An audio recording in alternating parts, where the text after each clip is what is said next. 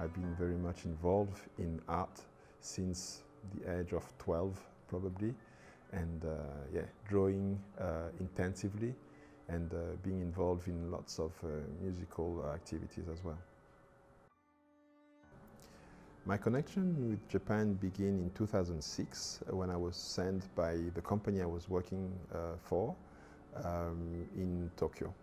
And um, that's when, from the very first glance, I realized that there was a connection to be made between where I come from uh, originally, uh, West Africa, and uh, this place, this new place for me, Japan.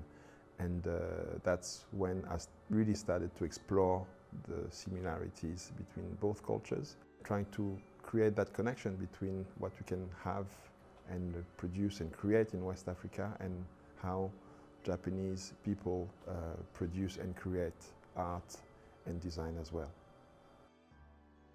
So I started with designing, uh, first of all, garments like kimonos, based on two iconic aspects of both Japanese cultures, the kimono itself, and West African cultures, the, the, the wax or the bogolan or the kente fabric um, or the ndop that you can find in uh, West Cameroon.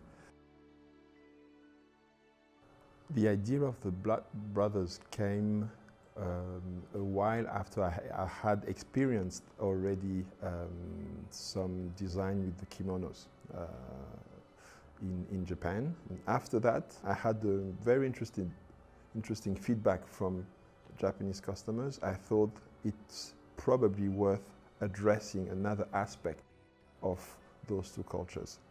So that's why uh, I thought of trying to addressing two other icons of both cultures. The lacquer that is very iconic from Japan and the shapes that you have in uh, West Africa through sculptures, stools and different kind of uh, uh, uh, wooden ornament. I thought maybe all the little sculptures that you have in West Africa can be as iconic as lacquer in, in Japan. So um, step by step, uh, I imagined how to make those two icons juxtapose and uh, have a discussion and have um, and create that third aesthetic. You know, this, uh, this place where you're not in Japan anymore, not in West Africa anymore, but you are in a new territory of um, language and uh, impact that could be meaningful beyond Japan and West Africa. So lacquer is something in Japan is, that is very iconic as well because of its texture, its depth, the way it's applied and the way it's, it's, it's, uh, it's executed. Regardless of the region in Japan, you have a very particular approach to lacquer that you don't have quite the same either in Burma or in China or in um, Vietnam, for example. The Japanese lacquer called urushi is very specific.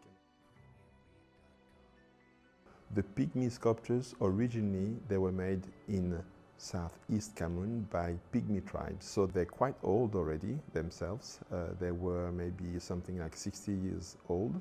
I discussed with, uh, with uh, the people from the tribes and uh, through discussion and explaining them what their sculpture were going to become, I purchased the sculptures and brought them to Japan to transform them. I decided to work with Masaru Okawara sensei.